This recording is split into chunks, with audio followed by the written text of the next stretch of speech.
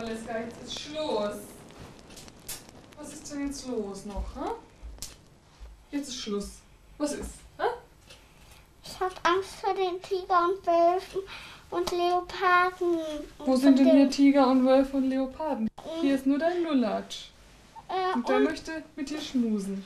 Außerdem bin ich ja da, ne? Brauchst du keine Angst haben. Das spielt eine ganz wesentliche Rolle, das Erkennen und das Ausdrücken von Gefühlen. Also gerade so im Hinblick auf Suchtprävention, weil abhängige Menschen sehr häufig damit auch Probleme haben, ihre Gefühle zu erkennen und auszudrücken. Und dann ist das Suchtmittel halt oft auch mal ein Weg, um das dann zu ermöglichen, also ein Gefühl zu spüren oder auszudrücken. Und das ist eigentlich so das Elementare.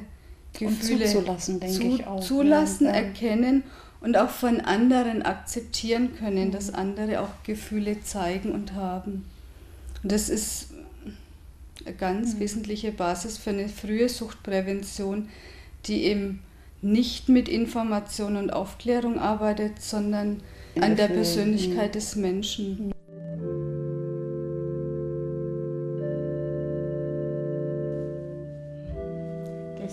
Nacht habe ich gar nicht schlafen können.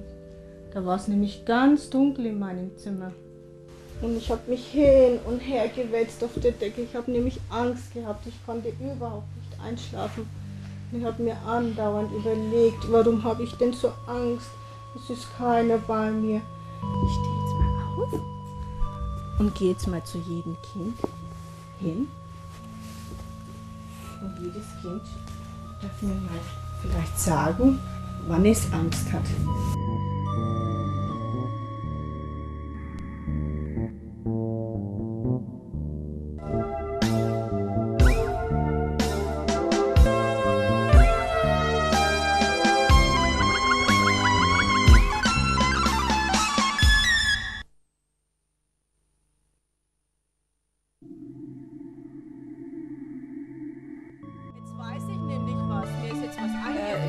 Zusammenhang steht eigentlich Suchtprävention?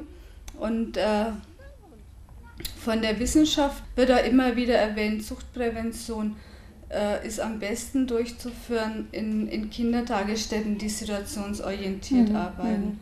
Also die eben diesen situationsorientierten Ansatz verfolgen. Also dass die Situation von Kindern, äh, das ist auf